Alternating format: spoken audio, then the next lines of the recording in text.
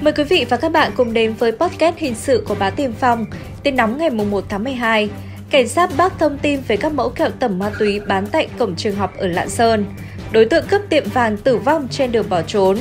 Cháu nội dùng búa đánh ông tử vong. Công an xử phạt hai thầy giáo đánh nhau ở Quảng Trị. Nam giới và chuyển giới bán dâm ngày càng phổ biến ở thành phố Hồ Chí Minh. Sau đây là nội dung chi tiết. Công an huyện Hướng Hóa Quảng Trị vừa xử phạt hành chính 6,5 triệu đồng về hành vi gây thương tích cho người khác đối với hai giáo viên công tác tại trường tiểu học và trung học cơ sở Si. Trước đó, một số giáo viên tổ chức ăn nhậu tại khu tập thể của trường tiểu học và trung học cơ sở Si. Tại đây, ông NVD 40 tuổi và ông NVQ 39 tuổi, chú xã Lìa, huyện Hướng Hóa xảy ra mâu thuẫn đánh nhau. Kết quả giám định sức khỏe xác định ông Quy có tỷ lệ thương tích 2%. Công an huyện Củ Chi, thành phố Hồ Chí Minh đang tạm giữ Nguyễn Minh Tuấn 39 tuổi để điều tra về hành vi trộm cắp tài sản.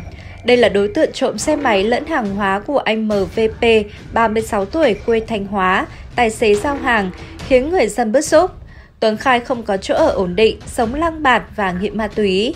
Sau khi trộm xe máy của anh P, Tuấn mang đi bán cả xe lẫn hàng hóa cho một đối tượng chưa rõ lai lịch, được khoảng 1,5 triệu đồng. Số tiền này Tuấn mua ma túy để sử dụng. Trưởng công an thành phố Phan Thiết, tỉnh Bình Thuận cảnh báo không có việc chơi hụi mà lời tới 20 đến 30% một năm. Việc này cũng dẫn đến rủi ro rất cao bởi các con hụi chơi rất nhiều dây hụi khác nhau, trong khi tiền để sản xuất kinh doanh đầu ra tham gia vào dây hụi không có, đến một lúc nào đó sẽ vỡ.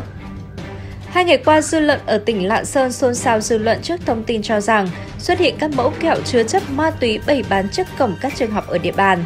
Ngay lập tức, công an đã vào cuộc kiểm tra, kết quả giám định xác định các mẫu kẹo không chứa chất ma túy như tin đồn.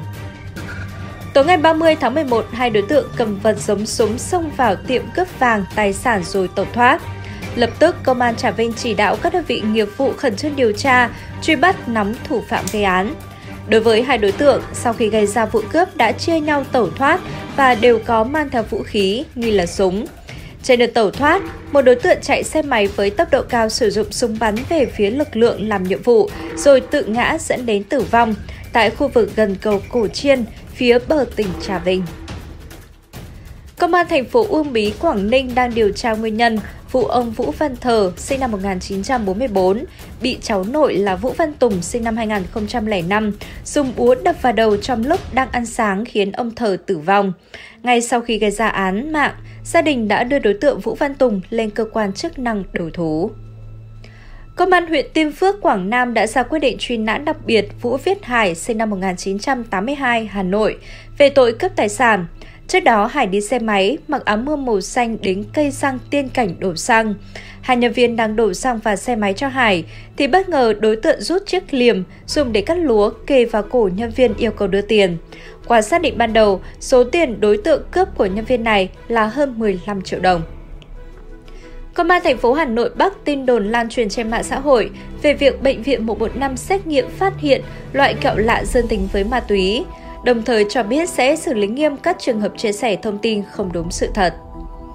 Ủy ban nhân dân thành phố Hồ Chí Minh vừa tổng kết đánh giá công tác thi hành pháp luật phòng chống mại dâm trên địa bàn. Trong đó, phương thức hoạt động của các đường dây mại dâm là lợi dụng internet, mạng xã hội để đăng hình ảnh tiếp thị, thỏa thuận các địa điểm cao cấp như biệt thự, căn hộ chung cư, tàu biển, tàu du lịch, theo các hoạt động tour du lịch, thể thao, thậm chí ra nước ngoài để hoạt động mại dâm.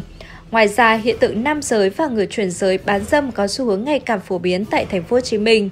Trong khi đó, quy định pháp luật chưa điều chỉnh để xử lý một cách thống nhất, đồng bộ, kiên quyết xử lý hành vi vi phạm của cơ sở cũng như đối tượng hoạt động mại dâm. Quý vị và các bạn vừa lắng nghe podcast hình sự ngày 1 tháng 12. Cảm ơn quý vị và các bạn đã quan tâm theo dõi. Xin kính chào tạm biệt và hẹn gặp lại.